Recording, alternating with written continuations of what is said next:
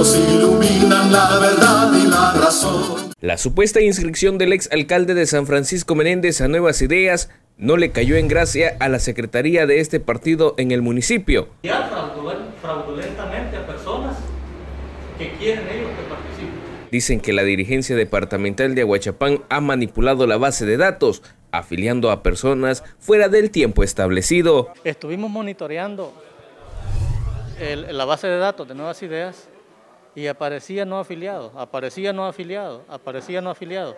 Se consulta todavía a las 5 de la tarde y decía no afiliado. Se consulta a las 11 de la noche, ya estaba afiliado y estaba inscrito. Vale decir que la persona que está manipulando el padrón es una persona que, que sabe corromperse, lo han corrompido, lo han pagado, porque de una manera legal no lo van a hacer.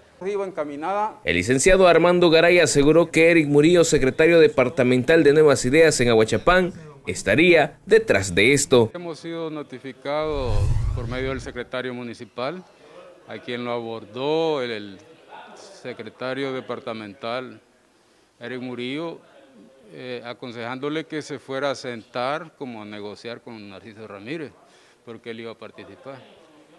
Desde ahí nos llamó la atención que fuera el mismo secretario departamental el que le estuviera informando eso, cuando nosotros teníamos conocimiento claro de que esta persona pues no podía estar afiliado porque era autoridad, o sea, ocupaba la dirección departamental de Gana. Cuando el partido estuviera manchado por la corrupción, no le iba a temblar la mano para meter preso al que fuera culpable de algo. Ellos dicen que están dispuestos a luchar hasta obtener una respuesta clara sobre los supuestos amaños. Nosotros, como una directiva legalmente constituida, no queremos permitir que se le siga haciendo daño al municipio.